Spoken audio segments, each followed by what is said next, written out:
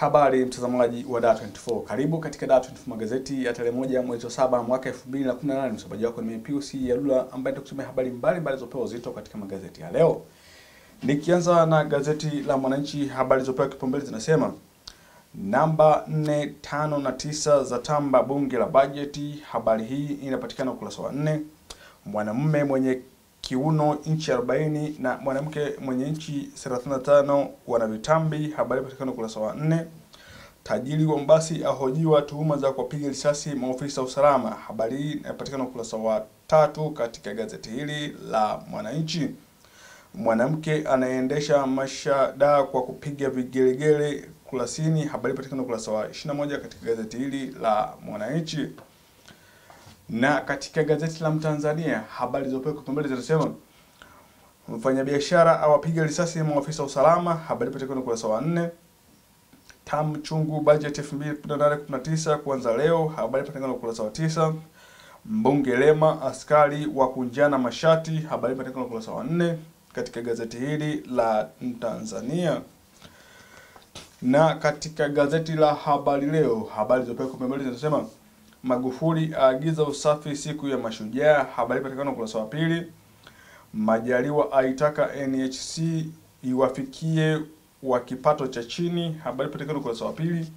Mfanyabiashara mbaroni kujeruhi maafisa usalama. Habari patikana ukurasa wa pili katika gazeti hili la Habari Leo.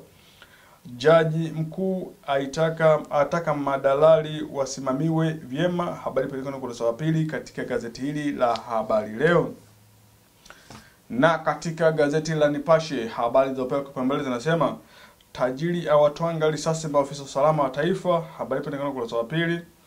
Makonda atangaza ajira vijana washindao vijiweni. Habari patikana ukurasa wa pili. Milioni mia tatu mashujaa kujenga barabara. Habari patikana ukurasa wa tatu katika gazeti hili la Nipashe.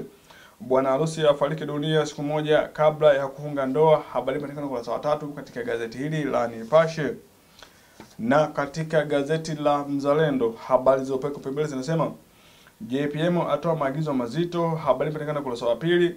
Wasiolipa kodi ya majengo kupigwa faini. Habari patikana kurasa wa pili. Mganga wa kienyeji atiwa mbaroni da. Habari patikana kurasa wa pili katika gazeti hili la Mzalendo.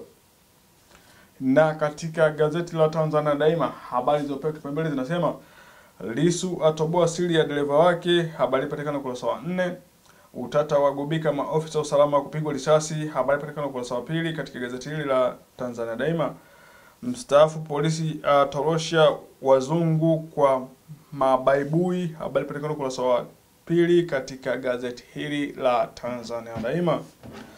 Na mtazamaji wa Dar24 magazeti, na kufikia hapo ndo mwisho wa Dar24 magazeti ya leo tarehe moja mwezi wa saba mwaka 2018. Msomaji wako ulikuwa ni mimi Pius Yalulu ambaye nikusomea habari mbalimbali zilizopewa uzito katika magazeti ya leo, na hii ni Dar24 taarifa bila mipaka.